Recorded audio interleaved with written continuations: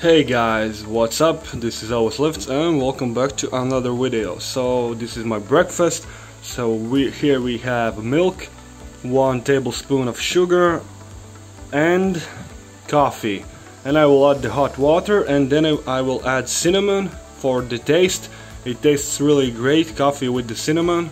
It's also healthy, so I am starting to doing this very recently, but it's definitely a great way to drink coffee. And then we have 100 grams of oats plus one banana.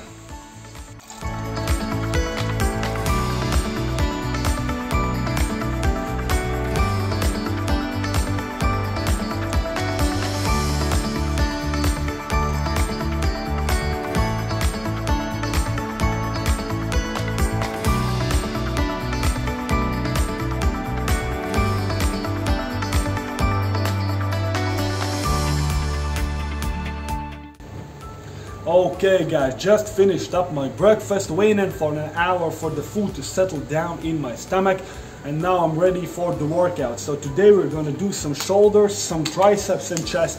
So first, first of all, we're gonna start with wall handstand push-ups and I will try to set a new personal record for them because my PB for now is 6 reps and I feel like I maybe can uh, get a new personal record and that would be awesome. So definitely we'll try that and after that we'll do some push-ups, maybe some explosive ones, some archer ones, and after that we're gonna go to the bars, I'm gonna do some uh, bar dips and then maybe some regular dips as well. So that is the plan for the workout, I will show you how I do it. And yeah, so right now I'm weighing 95, 96 kilograms, so I gained a little bit of weight. I've been eating in caloric surplus for a week I would say and I definitely feel like I gained some size. Why did I did that though? Because I've been uh, trying to lose the weight and now I'm suddenly gaining it. Because I've been on caloric deficit for so long that I just wanted to eat a little more once once in a while, you know. It's been like a year since I've been cutting all the time, so I definitely wanted some time period where I can enjoy a lot more food. But we'll see how I do in the future. Maybe I will start cutting again because if I increase my size and my weight, it's very difficult for me to do the muscle ups. I definitely feel the difference. So most likely I will cut again because I have those genetics where I am very very prone to gaining weight, but it's very difficult for me to stay lean and lose weight. So I will definitely think about my plans in the diet, diet wise, because I have structure plan for my weight pull-ups for increasing muscle ups. I have the goals in my head, but uh, not so much in the weight department. But I most likely will try to cut again. So enjoy the food for a little while, and now it's time to cut again. So without further ado, let's get right into the workout.